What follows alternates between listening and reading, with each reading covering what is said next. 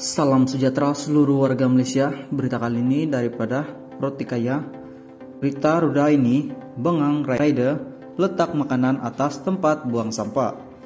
Menerusi satu perkongsian di Instagram, semalam pelakon Rita Ruda ini meluapkan rasa bengang dengan sikap pengantar makanan yang melakukan kerja sambil lewat.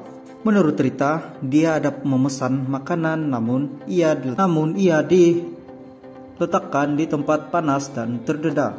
Lebih banyak penggunaan Rita geram makanan itu diletak atas tempat pembuangan sampah.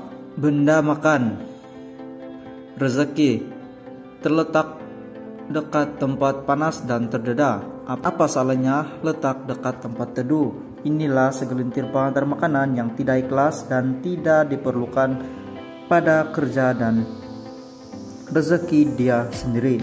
Makanan masa makanan masa atas tempat pembuangan sampah pula itu.